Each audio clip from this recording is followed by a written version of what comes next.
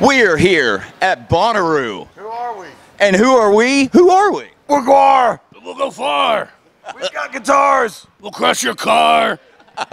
And you will also uh, conduct a wedding ceremony. I understood you guys did that earlier today. Yes, yes. Uh, Blothar, our, our singer, he is an officiant, and he's done many of these weddings. Uh, uh, but the weird thing is, they get married and then they're instantly dead. So it's it's pretty short courtship. I was wondering about that. I was like, what do you get more enjoyment out of, the actual wedding ceremony or, or the passing of the both?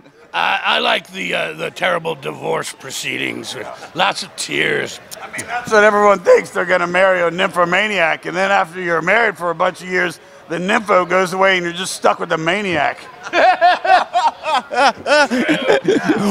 Well, uh, you guys have been here before to Bonnaroo and absolutely destroyed it, as you do everywhere you go. What made you want to come back and conquer Bonnaroo? Well, it, it grew back, so we had to come and kill it again. Yeah, it's got so much infrastructure and water and toilets and I don't know. We just had to come see what it was all about, I guess.